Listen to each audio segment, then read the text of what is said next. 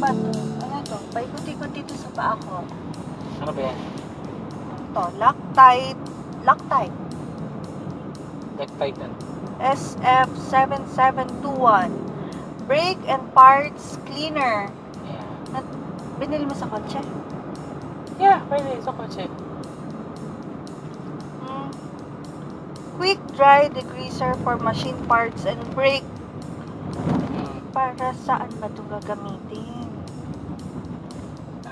Ah, Good per- para yan sa mga parts ng kotse. Sa motor, pwede din yan. Sabi, good performance at oil and degreaser remove. Yes. So, Sa motor pwede? yes, sa preno ng motor, sa drum brake ng motor, sa panggilid, ginamit namin yan.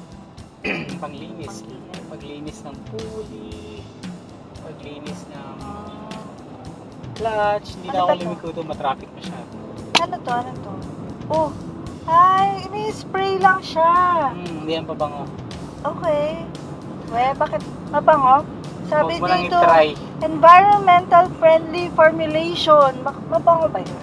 Huwag ka mag-spray dito sa loob. Hindi yan pabango. Panoorin mo na lang yung video sa namin ginamit para hindi ka magtaka. Alright, so andito na lahat ng mga panggilid. Nakabaklas na. So, we need to make sure na malinis lahat ng parts. So, we're going to use this product, Loctite Brake and Parts Cleaner. So, ituturo ko lang kung ano yung mga dapat at hindi dapat na isprayan.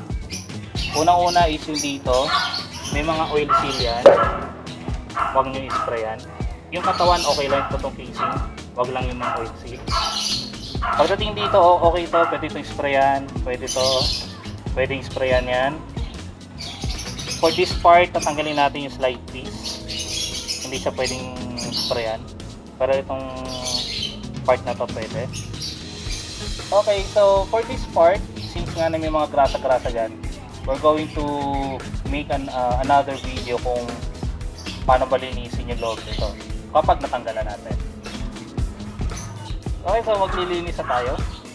Lagyan natin yung takip. You can use a uh, sabihin na straw or pwede rin naman diretso. Rekta lang natin. So magsimula tayo dito sa pel. Sprayan natin itong gilid.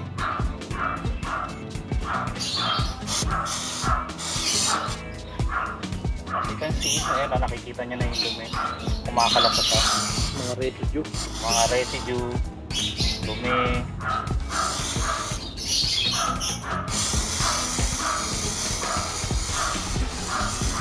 At after nyan, pwede nyo nang punasan para matanggal yung dumi.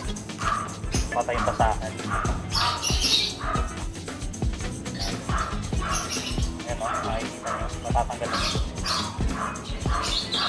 Yung dumi rin, nasa kamay. So, important na malinisan ito kasi dito kumakapit yung clutch pad eh. Eh. nakatatanggal na yung dumi.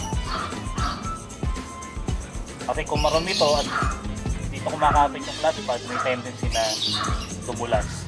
Hindi siya kumapit na mahusay. So, it's better na linisin ito.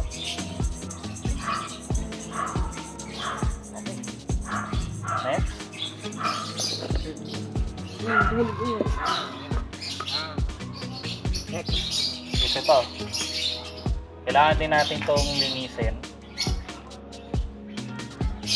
Try natin. Kita nyo, pagka-spray pa lang, ito kabig yung dumi.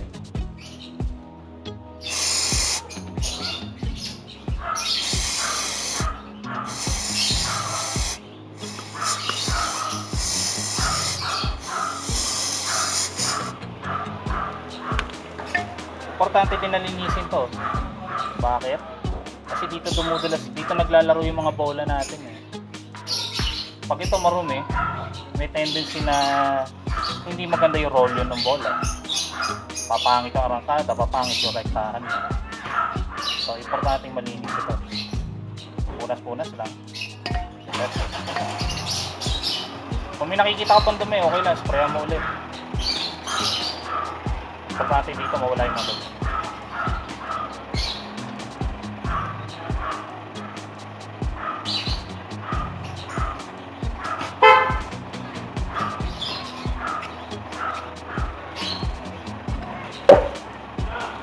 Next ito. Aside, as I said, hindi pwedeng sprayin yung slide piece so tatanggalin natin sila.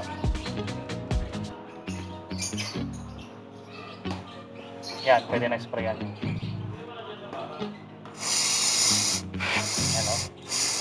Tatanggalin mga dumi-dumi dyan.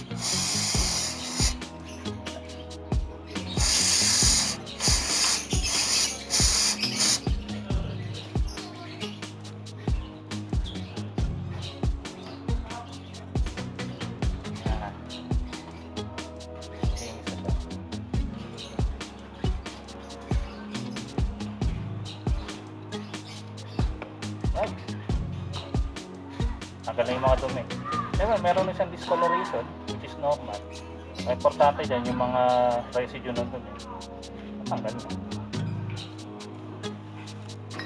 Then ito. Sprayan natin to para mawala lang yung dumi.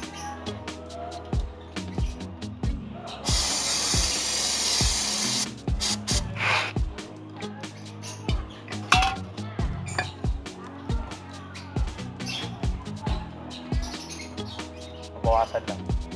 Yung mga pins ay ang hirap namang tanggalin. You can use a brush para matanggal yung dumi sa singit-singit ng pins. Pero enough na yun para malinis yung buo. Oo, mawala yung residue. Then yung mga bola. Yung mga bola, hawakan mo lang.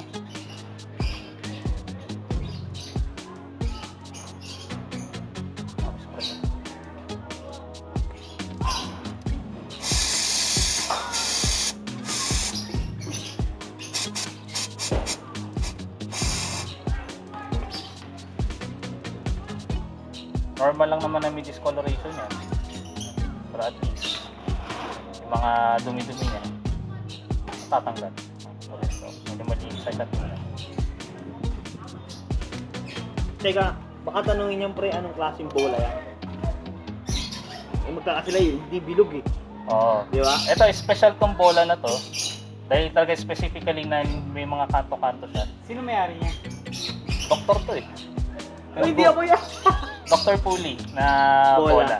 Baka isipin kasi nila, bola. Ba't, Diba? ba't hindi bilog? Oo, hindi bilog yung bola, may mga Oo. May special design ng Dr. Puli kung bakit Bakit? sila may mga kanto-kanto. Check nila lang kung bakit. Meron naman sila sa website. Okay, that's it. Yun lang.